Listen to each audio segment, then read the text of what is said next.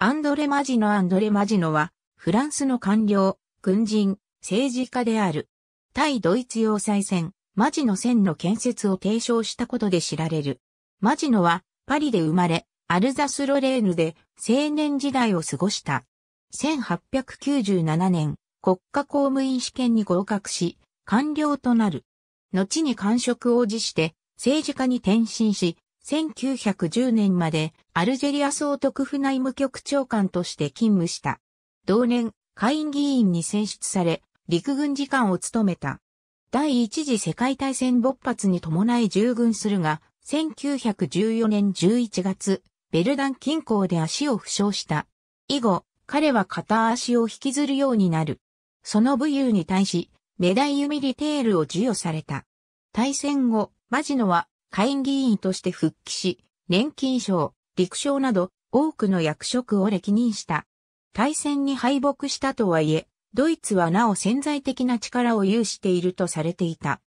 対してフランスは、ナポレオン戦争以来本土の人口が伸び悩んでいた。上に、大戦に従軍した多くの成人男性の死亡に伴う人口減少と兵員不足に悩まされていた。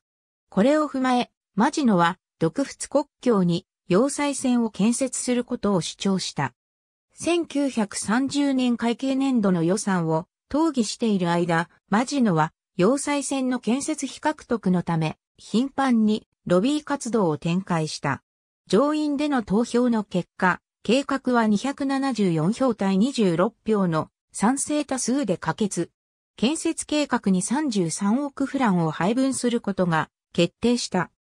実際の設計の大半は公認の陸将ポール・パンルベの在任中に行われたが、首相者として計画の実現に奔走したマジノの功績は大きく、1936年に完成した要塞線には彼の名を取ってマジの線の名が付与された。しかし、彼自身はマジの線の竣工を見ることはなかった。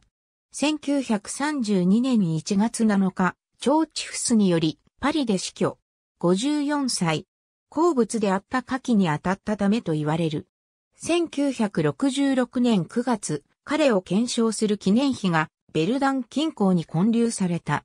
ありがとうございます。